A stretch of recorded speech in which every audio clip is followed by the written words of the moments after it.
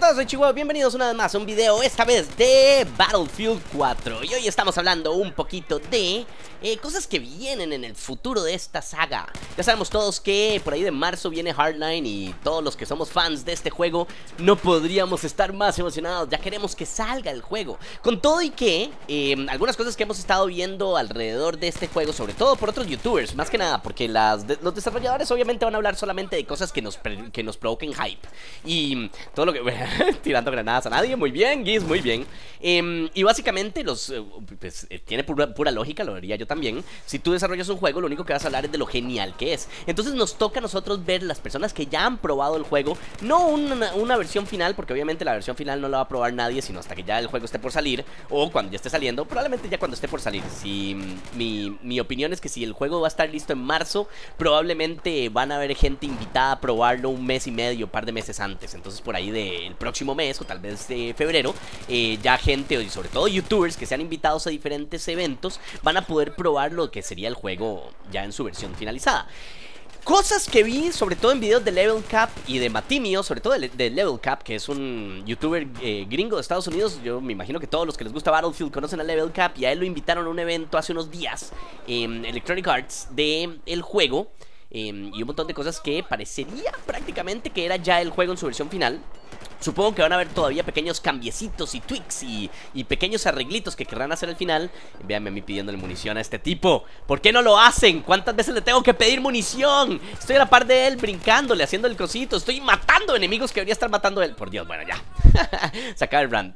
A lo mejor, a lo mejor no tiene. Eh, a lo mejor no tiene munición. O a lo mejor no le da la puta gana soltarlo al cabrón. Pero bueno, volviendo al tema. Eh, él fue invitado, Level Cap fue invitado a un, ¿cómo se llama? A un evento en el cual nos dejaron probar un montón de cosas y salió con mucho feedback y mucha retrospectiva de lo que puede ser el juego.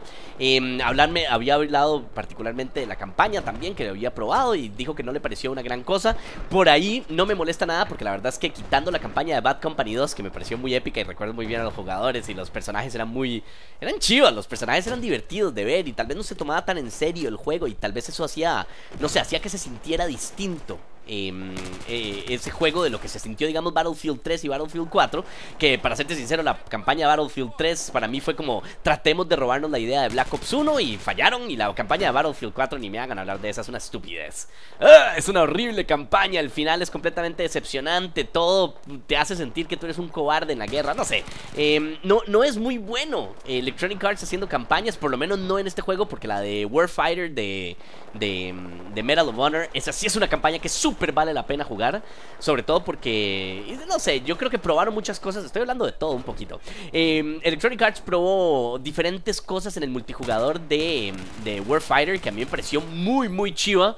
Y que ojalá lo hubieran implementado en otros juegos. Sobre todo los el tipo de killstreaks que uno podía poner apoyo y eh, hacer un spawn aéreo, un helicóptero donde podías disparar con la torreta mientras entraran. Estas eran cosas muy muy chivas que hicieron, pero que realmente no exploraron más a diferentes juegos que me hubiera gustado ver. Sobre todo porque se sentían, en mi, en mi opinión, esos killstreaks de, de Warfighter se sentían como cosas reales de guerra y no exageradas como pasan en Call of Duty, que por supuesto es un juego un poquillo más arcade y un poquito más, no sé, tipo arena shooter, más como al estilo como es Halo, que sea rápido, de movimiento rápido y de y, de mucha acción, pero con poco contenido o con poca estrategia, como por ejemplo los Battlefield si son. Y Hardline, al ya no ser un, juego de base militar, sino que lo van a hacer un juego al estilo eh, Policías y Ladrones, pues tiene muchísimo potencial, sobre todo porque muchos juegos lo han hecho muy bien. Payday hizo muy bien todo lo de eh, Policías y Ladrones, y yo creo que Hardline, por todo el, el sistema de combate que tiene Battlefield, quitando los Em, problemas que tiene de glitches. Por ejemplo, eh, Level Cap habló en su video que em, eh, uno de los problemas más grandes que él encontró que existían desde Battlefield 3 y en Battlefield 4 es el glitch de la. de, de, de ¿Cómo se llama? De la animación de recargar tu arma, en el cual ves a tu soldado hacer toda la, animación de que está recargando el arma y cuando termina de hacer la recarga, tu, tus, tus balas siguen el mismo conteo de antes y eso te produce un montón de bajas. O más bien al revés, te produce un montón de muertes, te produce eh, morir por eso. Y parece que con todo y que se dio tantísimo feedback, pues eso va a estar de nuevo integrado en, eh, en Hardline. Lo cual me hace pensar, por supuesto, en qué más cosas que ya todos debimos haber visto arreglados en Battlefield 4 van a volver a hacer sus apariciones en Hardline, que es lo que me da un poquito de miedo. Los releases de estos juegos han sido fatales cada vez. Battlefield 3 fue una mierda cuando salió, Battlefield 4 fue menos mierda, pero igual fue una super mierda y o sea, es que la gente sigue hablando de Battlefield 3 como que hubiera sido el juego mejor juego de la historia y es cierto, yo lo acepto, fue un juego que divirtió muchísimo y nos encantó y perdón por la campeada acá, pero es lo que hay que hacer en Rush.